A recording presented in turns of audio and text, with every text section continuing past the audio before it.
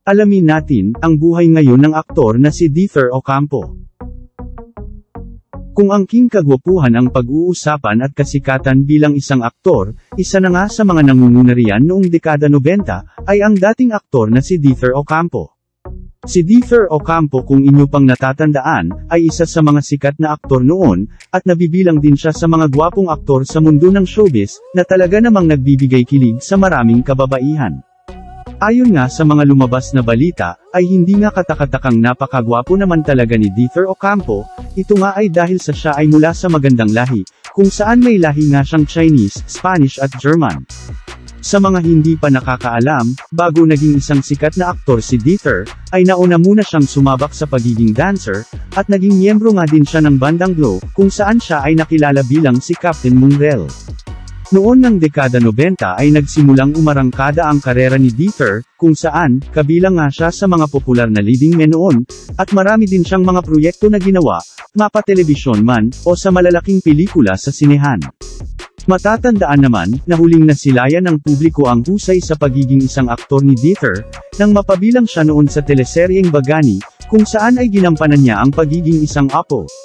Samantala, matagal na rin nating hindi nasisilayan sa telebisyon ang gwapo at mahusay na aktor na si Dither Ocampo, kaya naman, marami ang nagnanais na malaman, kung ano na nga ba ang pinagkakaabalahan nito ngayon sa buhay, at kung nasaan na nga ba ito. Kahit naman wala na sa showbiz si Dither, ay nananatili namang aktibo ang dating aktor sa kanyang social media, kung saan dito nakakakuha ng impormasyon ang ilan sa kanyang mga tagahanga, kung ano na nga ba ang buhay niya ngayon. Sa isang ang social media post ng dating aktor, ay masisilayan, na siya ay nakasakay sa isang kabayo, kaya naman, ilan nga sa mga tagahanga niya ang napaisip, na marahil ay nagmamay-ari ng maraming kabayo si Dither sa North Polo Club, sa Pulilan, Bulacan.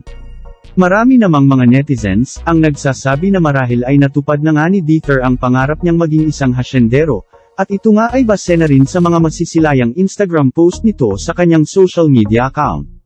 Tila naman, sa edad ngayon na 48 years old ni Dither Ocampo, ay wala pa rin itong pamilya o partner sa buhay, sapagkat wala pang lumalabas na balita patungkol sa buhay pag-ibig ng dating aktor.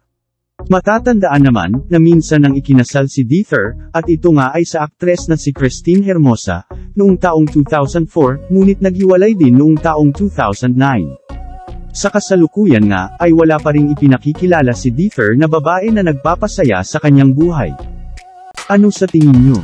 Mag-iwan lang ng comment, at ilike mo na din itong video, at syempre, huwag mong kakalimutang mag-subscribe, at pindutin mo na rin yung notification bell, para sa marami pang showbiz chismis na paparating. Maraming salamat!